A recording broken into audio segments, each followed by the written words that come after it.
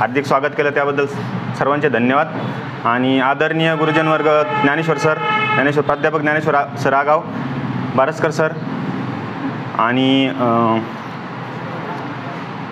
विद्यार्थी मित्रांनो.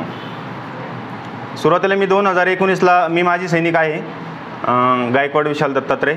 दोन हजार एकोणीस एप्रिलला माझी रिटायरमेंट आणि इथं तुमच्याबरोबर माझी सैनिक आहेत मला दिसत आहेत आणि सर्वप्रथम मी एवढं सांगतो का आपण इकडे अकॅडमीला आलो आहे म्हणजे आपण एवढंच लक्षात ठेवायचं आहे का फक्त नोकरीच नाही मिळवायची आपल्याला. आपण नोकरीच्या उद्देशाने आलेलो नाही. सगळ्यात मोठा उद्देश तर तोच आहे. कारण तुम्ही सगळे बाहेरून आलेले आहात नगरचे पण आहात. पण सर्वप्रथम असं आहे का आपण आप आईवडिलांच्या कष्टाचे काहीतरी चीज झालं पाहिजे. त्यासाठी आपण काहीतरी करायचं आहे इथं.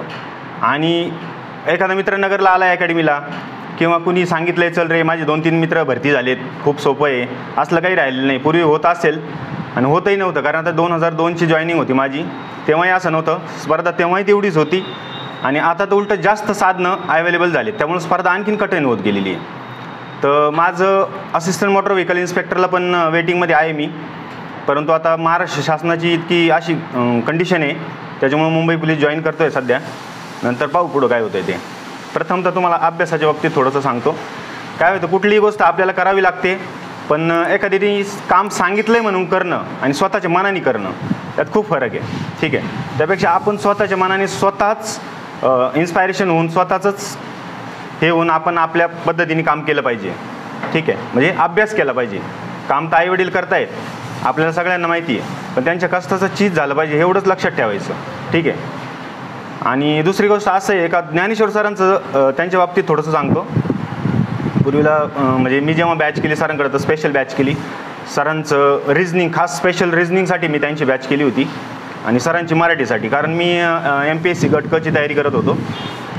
आणि पोलीस भरतीचं टार्गेट नव्हतं पण आता नोकरी नोकरी असते. ठीक आहे कुठलीही असो.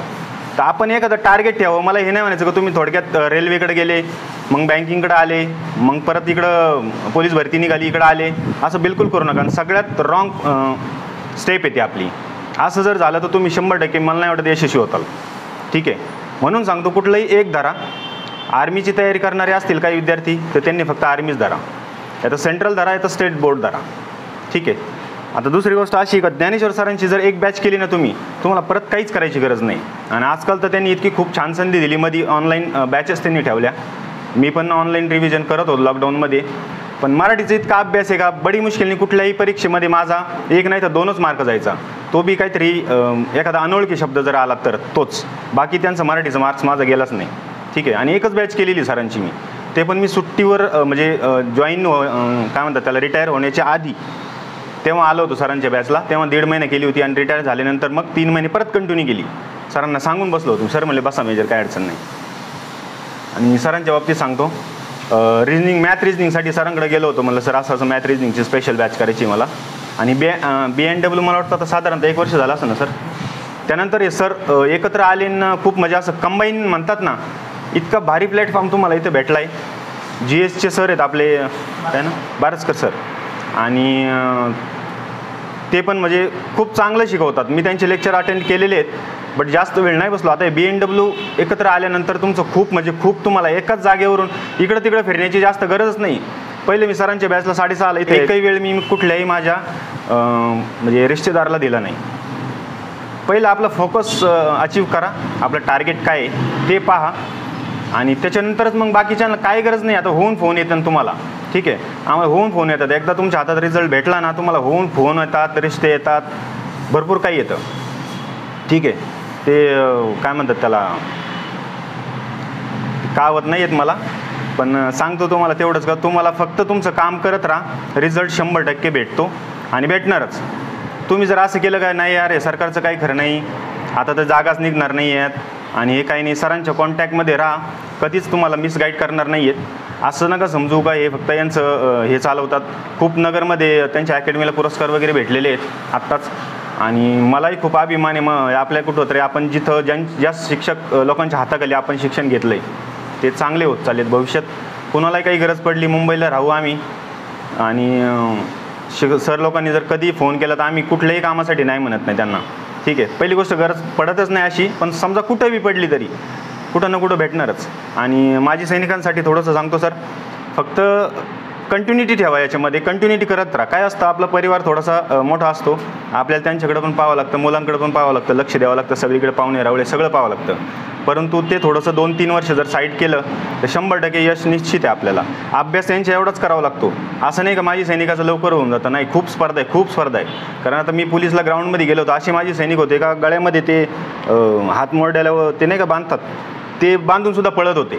म्हणजे नोकरीची इतकी गरज आहे. फक्त पेन्शनवर भागत नाही आहे आजची डेटची जर महागाई बघितली तर. आणि तुमचं कसं असतं नवीन मुलांचं बॅचलर असतात. त्याच्यामुळं संधी येतात. आता एक एक मार्कावून जातात अर्धा मार्कावून जातात. सोड यार काय खरं याचं? भ्रष्टाचार झाला अमकत अफवांवर अजिबात विश्वास ठेवू नका. स्पर्धा परीक्षा थोडंफार होतं. होतं कमी त्याची अफवा जादा फैलते. आपण आपल्या पद्धतीने हमेशा काय म्हणतात त्याला बेस्टमध्ये येण्याची कोशिश करा. ठीक आहे? जे थोडे वीक आहेत त्यांना वाटतं की आपलं ग्राउंड वीक आहे हे वीक आहे. पाहू भरती आल्यावर बघू फॉर्म निघल्यावर बघू. तसं बिलकुल करू नका. ठीक आहे? फॉर्म सुटायच्या आधी आपली तयारी चालू ठेवा. निश्चित यश भेटणार म्हणजे भेटणार आणि मधी सोडून कुणीच जाऊ नका. एक सोडून दोन बॅच करा सरांच्या. सरांना कधीही उठवा. कधीही डाऊट्स विचारा मी परीक्षेनं आल्यावर सरांक जात होतो. सर हे असा असा प्रश्न होता. काहीतरी एकदा नमक मीठाला मिठाला समानार्थी शब्द आला होता. मी सरांकडे आलो होतो विचारायला त्या बाबतीत. सर असा असा प्रश्न होता. काय झालं त्याचं? पेपर सुटल्याबरोबर आलो होतो सरांक तर तुमचे डाऊट्स असतील ते शंभर टक्के क्लिअर करा आणि मधीच सोडू नका. मोबाईलच्या तर बिलकुल नादी लागू नका. एखाद्याचा ऑनलाईन कोर्स असेल एखाद्याला वाटायला सरांना ओळखतो मी. एखादा वाटत असेल ऑनलाईन कोर्स पुण्याचा लय भारी असलं काहीच नाही. मी तर म्हणतो इथं राहून तुम्ही एम पी एस सी करू शकता. यू पी एस सीचं नाही सांगत मी. खूप बेस्ट सर आहेत खूप बेस्ट कोचेस आहेत तुम्हाला इथं भेटलेले आहेत. असं काही नाही का मग पुण्याला गेलं तर सिलेक्शन होतं. तर मी आर टी ओच्या तयारीसाठी मी तीन महिने पुण्याला होतो. ठीक आहे. इग्नाईट अकॅडमीला तीन महिने मी पुण्याला गेलो होतो. तिथलं वातावरण पाहिलं. काही नाही खिसा मोकळा होतो. आणि थोडंसं चांगल्या चांगल्या याच्यामध्ये राहायला भेटतं. वातावरणामध्ये वाटतं हा लय भारी राहू आता. आपण अधिकारी होणारच. असलं काही नसतं. इथं जो अभ्यास होतो इथं जो वेळ भेटतो तिथं मा माणूस डिस्ट्रॅक्ट जादा होतो. कारण फंक्शन जादा असतात काही ना काही चालूच असतं. काय नगरमध्ये तसलं काहीच नाही डिस्टर्ब आहे एखाद्या लायब्ररीत तुम्ही बसले. काही गरज नाही. तिथून उठले एखादा क्लास केला बॅच केली सरांना सांगितलं सर मला हे नाही समजलं ते नाही समजलं तुम्ही जाऊन कधीही शिकू शकता. ठीक आहे. त्याच्यामुळे खूप चांगली संधी येते. नगरमध्ये भरपूर एम पी एस सी करू शकतात आणि एम पी एस सीचं तयारी जर केली पोलीस भरती वाटणार बी. मी खरं सांगतो तुम्हाला मी एकही दिवस पोलीस भरतीचं पुस्तक हातात नाही घेतलं. एम पी एस सीच्या जीवावरच मी पोलीस भर माझं गणित खूप वीक होतं तरी सरांक मी रिजनिंगसाठी जायचो. मी रिजनिंगवरच माझी पोस्ट निघलेली आणि ग्राउंड दोन तीन गोष्टी लागतात. आणि मराठीचं मार्क जाऊन नाही दिलं मी. ठीक आहे. दोन तीन गोष्टी करा. शंभर टक्के यश भेटणार. मी सांगत नाही की तर बसल्यापैकी सगळे सगळेच पॉझिटिव्ह राहतील. पहिली गोष्ट काही काय होतं काहीतरी घरी घरून अडचणी येतात प्रत्येकाला येतात. आपण म्हणतो यार सोड बघू दोन महिन्यांनी जाऊ. नाही ते दोन महिने बिलकुल जायचं नाही. खूप महत्त्वाचे असतात. काही लोकांच्या डोक्यात हेच असतं का आता गावची यात्रा आली जत्रा आली फलाण्याचं ल- लग्न आलं पंधरा दिवस आधीच ते जोडीदारासंग फिरतात. असलं काही करू नका. ठीक आहे. फक्त तुमचे गुरु सर लोक शिक्षक आणि तुमचे खास जोडीदार मित्रपरिवार फिजिकल एकदम फिट ठेवा हमेशा. फिजिकल हेच तुम्हाला लास्टपर्यंत वयाच्या साठ पासष्टपर्यंत तुम्हाला हेच तुम्हाला तुमचं स्फूर्ती वाढवणार आहे. कारण तुम्ही तीस पस्तीस वय झालं का कुणाला डायबिटीज होतो कुणाला काय काय बरेच आजार होतात. असलं काही व्हायला नाही पाहिजे. आतापासून डाईट वगैरे चांगली ठेवा. काय लागत नाही सकाळचं थोडंसं उठल्यावर थोडंसं गरम पाणी प्या.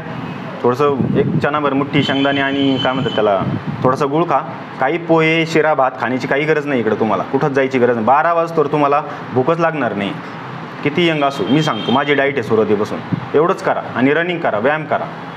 कुठंही जा तुम्ही कंबाईन करा पी एस आय करा टॅक्स करा कसली एक्सरसाइज करा कुठलीही पोस्ट घ्या. पण फिजिकल करा तुम्हाला शंभर टक्के होणार.